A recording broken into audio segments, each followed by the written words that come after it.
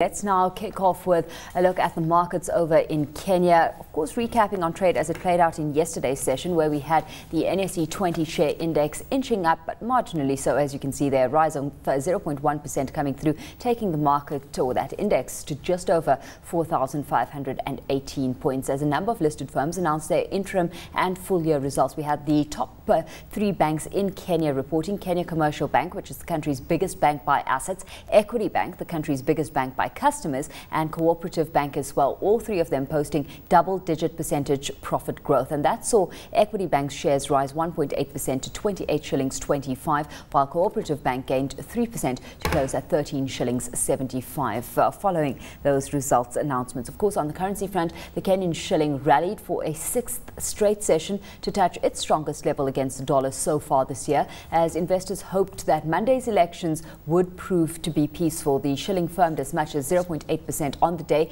to 85 shillings 60 uh, against the dollar. That was a level that was last reached on December the 27th, but gave up some of those gains to close at about that 86 mark. The shilling now uh, overall rallying 2% in the past six sessions, wiping out losses that were made earlier this year when importers stockpiled dollars before the vote. We've had traders saying that the correction overdone, and that's why it's come back to about this 86 mark right now at 85.95 to the greenback. So that a broad look at the Kenyan markets picture. Let's get into some analysis of it, and that's with Anthony Kimani, who's a research analyst over at Genghis Capital. Thanks so much, Anthony, for joining us this morning. Well, as I've uh, been saying, we've been looking at the shilling, and much of the commentary has been how the shilling behaves after the vote will depend on the noise in the market. Uh, what's your assessment of the kind of noise levels we're looking at pre election? Well, we are not expecting a lot of noise, so to speak. We are expecting that the shilling will be stable up to the election and after vote counting, probably with a more clearer result, we'll now seek direction from there. But for now and up to the election, we are not expecting a lot of activity on the shilling. Let's translate that through to the equity scene and what kind of performance you see coming through there because the NSE 20 has risen 9.2% this year so far and uh, being given the impetus by those strong earnings reports that have been coming through hard and fast. Uh, yes, uh, in terms of the equity market, what we saw at the beginning of the year was that the market rallied somewhat, but as we neared the election, we are seeing investors sort of take a wait and see approach towards the market. And we are expecting if the election will be peaceful, that we'll see the, the markets rally once again. Uh, of course, I touched on the fact that we had the top three banks in Kenya reporting during the course of yesterday's session. At the end of that session, a couple of com companies coming through with their financials as well. BAT Kenya, one of them, posting a 6% jump in pre-tax profit for last year to 4.75 billion shillings. What did you make of the kind of results that they put on the table? Well, BAT's results were obviously as expected being a discretionary consumer good company, we always expect that the results would be as strong.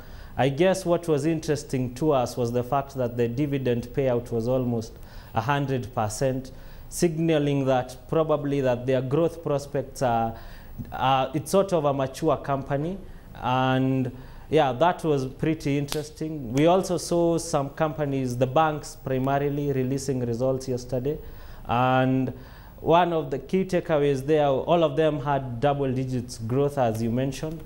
And if you look at a bank like Cooperative Bank, we saw it post profits of about 19% on the EPS. And all of them basically had wonderful results. Yeah, well, that has been the expectation that's been held by bulk of the Kenyan investment community. Overall, though, let's bring it back to BAT because uh, what stood out there was the fact that this is a company that managed to see lower operating costs. So run us through that and how BAT is managing to achieve it because it's resulted in operating profit rising 9%, Anthony.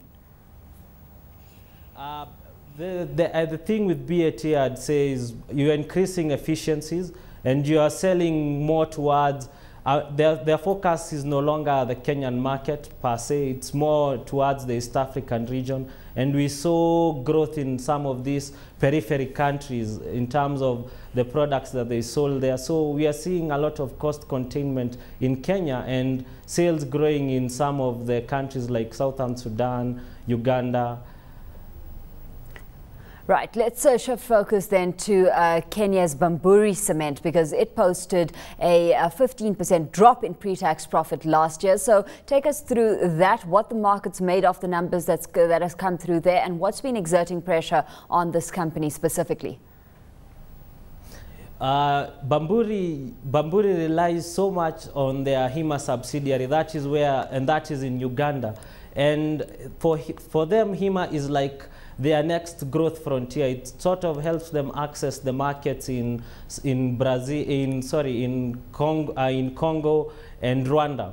And what we saw last year happening in Uganda was that the electricity subsidies were scrapped off. This and we saw their operating costs jump by almost 70%. And for a manufacturer who does cement, you, you see that cost is very huge because majority of their costs, 40% are actually energy related. So when the subsidies were scrapped by the Ugandan government, uh, we saw that impact on their bottom line to record an EPS of about 12.17 yeah, exactly. We've seen those uh, higher costs driving operating profit for this company down 14%. So really uh, on the other end of the spectrum, if you're putting it against the likes of BAT from a cost perspective, when it comes to that shilling front or uh, the dividend front, uh, rather, we've had uh, a dividend declaration of 8 shillings 50 coming through. A slight increase, not as exciting, of course, as the dividend that BAT's put on the table. But how much incentive does that offer you, Anthony? Would you be buying in into Bamburi right now? Yes, Bamburi has primarily been a dividend stock. If you look at a cement manufacturer like Athi River Mining, for instance, the dividend payout has not been as huge because they are more, they are more growth oriented. But Bamburi has decided to sort of grow uh, a few of its markets, primarily in, East, in Uganda. And what we are seeing, is it behaves more of like a mature company and the dividend payout is something that investors have come to sort of expect from the company. And it wouldn't if it would have been lower that would have probably affected their share price. But what we are seeing they had to sort of increase it so that the yield comes to something like 4% and previous yields have actually been around 8% so to dividend investors, the yield is lower, but the commitment that the, by the fact that they have risen the dividend by 50 cents, that will sort of augur well with them, given the high the highly challenging operating environment that they faced. So, Anthony, year. would you be a buyer of Bamburi Cement right now? No, I'd be holding the stock. I wouldn't be buying it per se, but yeah, if I had the stock, I'd probably be holding it. Okay, so hold on Bamburi Cement. How are you feeling about Mumias Sugar? Because that share price tumbled 13.4% uh, yesterday to 4 shillings 20 and that after it warned in Wednesday's session that its full year profits will fall by more than 25%. Yes, exactly. Uh, Mumias Sugar is an interesting case. So investors are looking at the stock and they are sort of negative by the, they, they have this negative sentiment by the fact that the, the profits are about to drop by 25%. And to compound on to that is that by 2014, the, the subsidies or the commercial subsidies will be scrapped and the market will sort of be opened for other sugar manufacturers in the East African region. And we know that these sugar manufacturers actually manufacture their sugar at a much, much lower costs more than Mumias Sugar does. And we are, investors are sort of holding back and waiting to see how Mumias Sugar will fare under the increased competition. And of course, Mumias at a point had highlighted the fact that it would be exploring the energy space and contributing to the energy arena a little bit more aggressively. Anthony, what stride are they making in that regard? Uh, in terms of energy, the energy, if you look at it from a national grid perspective, their contribution is very minimal. I think it's below actually 1%, so it's not as huge. And they are relying on hydropower. And the hydropower, oh, sorry, uh, they are relying on burning their, bag, their bagasse or the, the product that is left after processing sugar. And if the, the, the business in terms of sugar processing is declining, then we are not going to see a lot on that front. We are not seeing uh, the revenues, we don't think the revenues will be significantly shot up by their electricity generation.